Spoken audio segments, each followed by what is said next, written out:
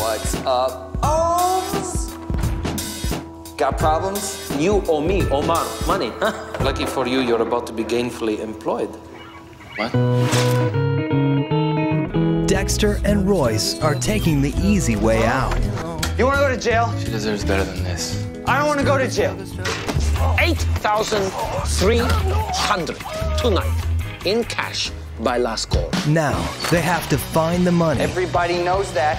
Save the girl, Were we in hell? No, we were at the drive-in. rescue the hippie, Who knew he'd run with it? escape from the drug dealer, Let's go find these losers and uh, give the hospital some business. and fend off the Church of Satan. I think he means us. What are you? Are you like Satan worshiper? Hey, zip, zip, zip. You are not worthy to utter his name. But yes, we do bask in the light of the Dark Lord. Weirdsville,